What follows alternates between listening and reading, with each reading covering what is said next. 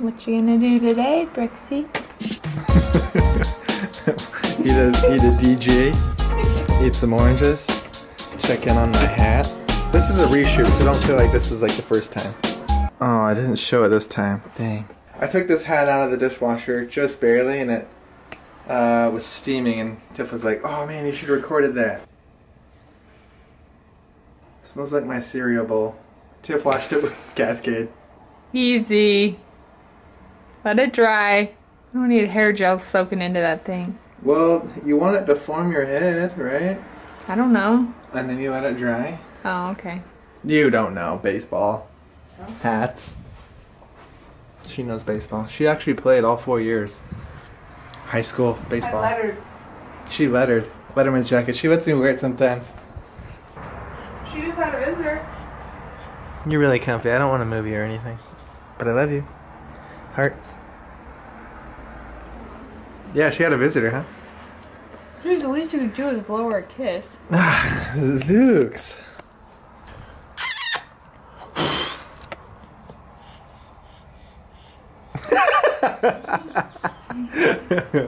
How's that orange treating you? Show me that orange. this ridge kind of looks like your nipples popping out. Dang. Yeah, so she had a visitor. Her auntie came in. Her auntie. Her, what, great auntie? Her grandma's sister? Anywho, yeah, so that's what we have done so Call far. her auntie. It's not, it doesn't have to be complicated. Okay, auntie, jeez. Make me feel like an idiot. What are we going to do though? So the baby's crying, you'll hear in the background, but look what this is happening.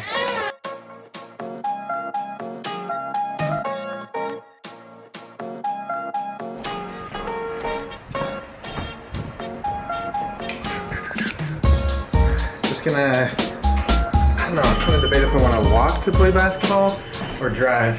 It's seriously just like around the block. But look at the shirt I'm wearing. Look closely. It's supposed to be navy blue. It's more like heather gray with like a blue undershirt. Tiff washes new like uh, wipes that we have for the baby and the wash, and she forgot that new things like towels will like spread lint everywhere. As a result. So I put in this new uh, uh, air freshener in here, peachy peach. So the whole car smells like a peach. Not just a peach, like a real, full-on, full-blown peachy peach. Tiff said something about Cafe Rio and that gets my engine going, so that's something to play for. Not funny, like uh, maybe like five years ago, like playing for something was like, you know, probably a girl or something, but as you get older, especially like me, I get super charged up over a Cafe Rio. I'm like, yeah, Cafe. If she had said In and Out, I would have been like, girl, we gotta go now. There's a sweet blazing sunset over there, but just to mix it up a bit, I'm gonna hold back on these time lapses just so like you appreciate them when they do happen, I guess. Um, try not to kill anyone. Whoa, we're gonna die. We're dead. We're gone. Okay, we made it. But yeah, check out that sunset. Whew. Dang, missed out on opportunity.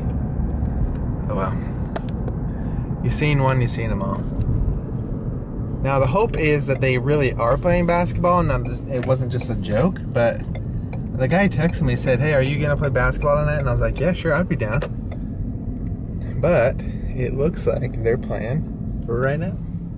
And I never know whether to bring my basketball or not because the times I don't bring it is like when we're left with like the ball that's left in the gym and it's got like tons of ridges and like the leather's actually gone. Like it's not even real leather. Like it's what do you call it? Not authentic? Synthetic? Synthetic leather. Anyway, the one I brought, no one really likes to play with because it's seen its time. You can't even buy these basketballs anymore online. Like definitely not in the store, but it's an old TF1000. I saw one on eBay and they were selling it for 400 bucks and it was used. So that's how you know they get they did it right, Spalding. And they stopped making them.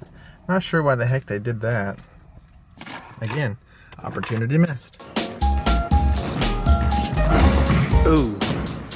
Hump. Push it, push it, push it, push it. Spoiler, it's a turnover. so I just got done playing ball, obviously, but uh, super sweaty. Small numbers here tonight. But it's not about the numbers, it's about how much you sweat off. I guess it is about the numbers. Calories. Hopefully I burned like 500 or 6.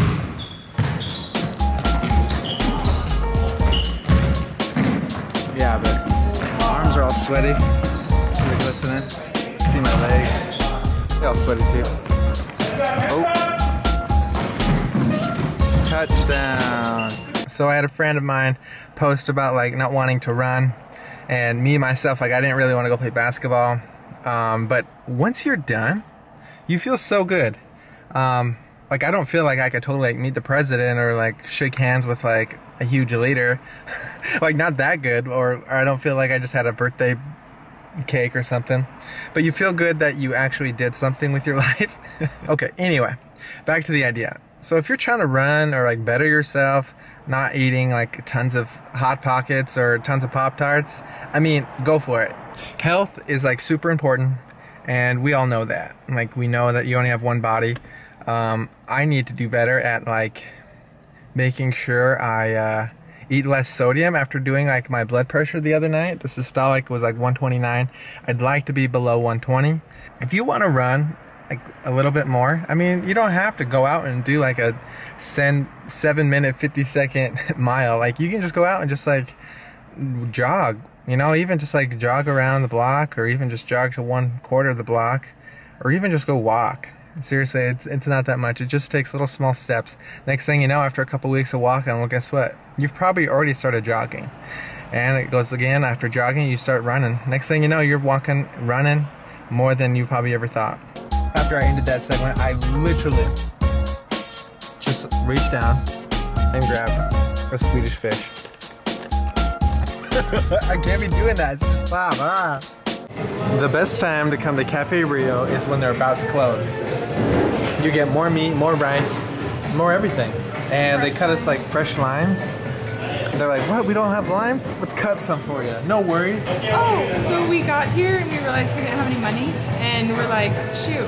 So he looked through his bag and he found a gift card. I was like, there's no way there's money on that. But he calls the number on it and there's $50. I don't know where he got that gift card, but thank you whoever gave it to us. I have little stashes throughout the apartment I just forget about. And I love those stashes. All out sprint. I gotta get the key out. Where's the key? Do you have the key?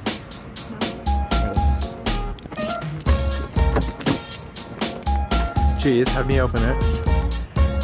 Millennials. that was good. That was a good timing. Usually you take forever. That time,